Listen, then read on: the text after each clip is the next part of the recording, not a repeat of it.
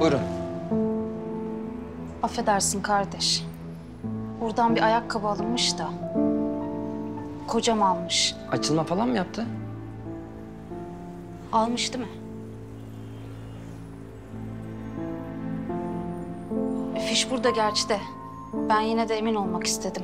Sorayım dedim bir, bir umut. Böyle bıyıklı esmer. Kemal. Fişte yazıyor adı.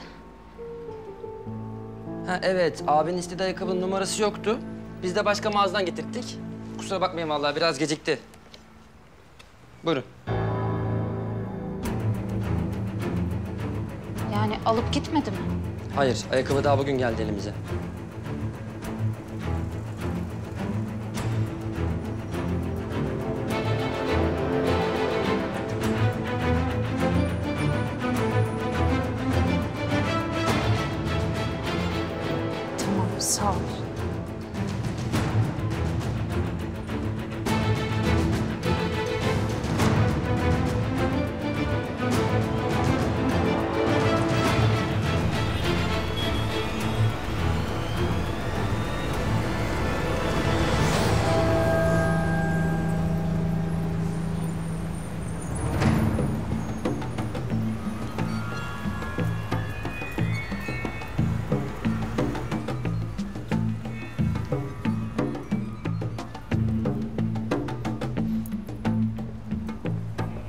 Sağ ol kardeşim. Yuvamı kurtardın. Allah senden razı olsun. Vallahi abi yuva kurtarmak sevap diye yaptım ama hiç hoş bir hareket değil bu. Ben de biliyorum oğlum. Anlattım sana durumları. Bir gaflete düştüm. Başkasına hediye alacak oldum. Vallahi elimde patladı. Yoksa yeminle karısına sadık bir adamımdır ben. Ne dedi benim hatun? Bir şeyden şüphelenmedi inşallah. İşte benim kocam buradan ayakkabı aldım dedi. Ben de istediğim numara yoktu. Bugün getirttik dedim. Çok güzel, çok güzel. Sonra? Sonra ayakkabıyı aldı gitti işte. Sağ ol kardeşim. Zaten tövbe ettim. Karım beni affetsin. Bir daha da başkasına bakarsam ne olayım? Bu kadar da dürüst bir insan bu adam. Vallahi bak. Neyse neyse. Hadi sana hayırlı işler.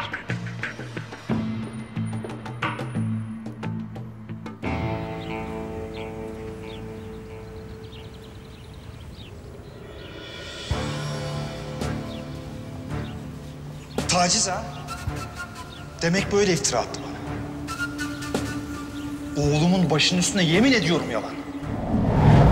Bugüne kadar üzülme diye sana söylemedim. Ama madem öyle anlatacağım. Asıl o bana sarkıntılık etti Mesude. Böyle eteğini kaldırmalar.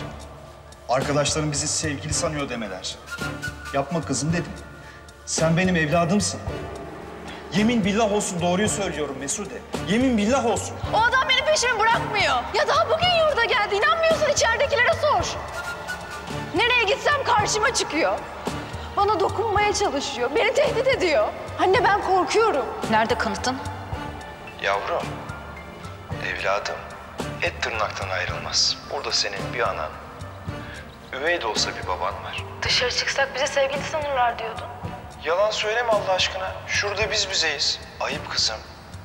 Ben sana babalıktan başka ne yaptım? Sevgili mevgili. Bir daha bana anne deme. Adam yapma evladım dedikçe üstüne üstüne gitmişsin. Sevgili mevgili lafa etmişsin. Anne sesini kaydettiğimi fark edince öyle konuştu. Anne vallahi billahi ben doğruyu söylüyorum. Son anda fark etti kayıt yaptığımı sonra numara yaptı. Yoksa bana kötü kötü bakıyordu. Sus! Hala pis pis konuşuyorsun be. Soysuz!